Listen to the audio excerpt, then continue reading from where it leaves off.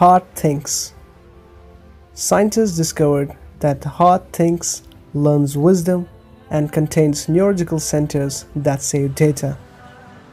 Heart contains 40,000 nerve cells that form a real brain.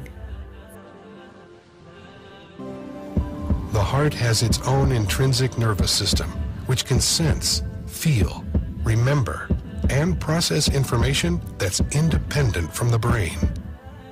We always think of the information input system as being entirely in the brain.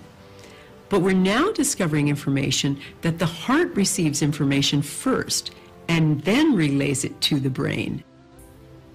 Quran revealed this fact more than 1400 years ago. Allah subhanahu wa ta'ala says in the Quran, Do they not travel through the land so that their hearts may thus learn wisdom?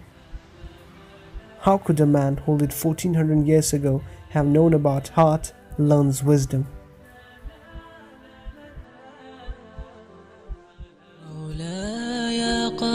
Subscribe our Sense Islam YouTube channel and hit the bell icon to get notified whenever we upload a new video.